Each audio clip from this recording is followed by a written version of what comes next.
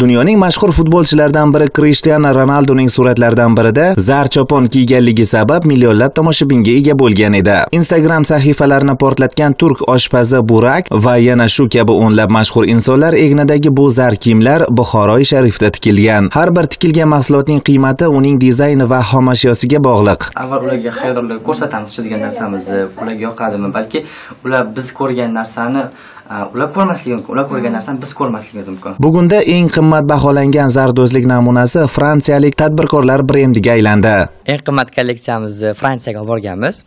Eng qimmat kolleksiyamizni narxi yigirma sakkiz million bo'lgan. Uni biz sotmaganmiz.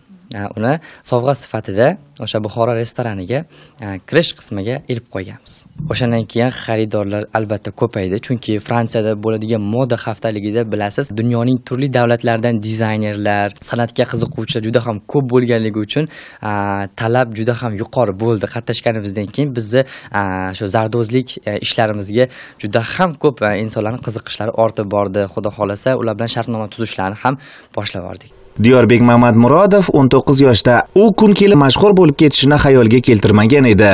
Man o'zi modellikka qiziqqanman juda ham bir ikkita qo'l ishlarim bilan narsalar chizib ko'rishga harakat qildim qarasam juda ham yaxshi ketyapti dizaynerlik bilan modellikni qo'shib yubordim mana universal ijodkor sifatida hozir ijod qilib kelyapman Buxoroda ilk marta o'tkazilgan xalqaro zardozlik va zargarlik festivalida ham noan'anaviy hunarmandchilik namunalari namoyish etildi. Festivalda 50 dan ortiq davlatdan 211 nafarga yaqin sayyohlar keldi. Bu esa ko'plab xaridorlar va yangi hamkorlar soni oshadi degani. festivali bisyor jon. Biz festivalga eron davlatidan tashrif buyurdik. Tashkilotchilik insonlaringizning samimiy munosabatlari menga judayam yoqdi. Ayniqsa ko'plab hunarmandlar bilan do'stlashib tajriba orttirganim men uchun o'ta muhim va foydali jihat bo'ldi.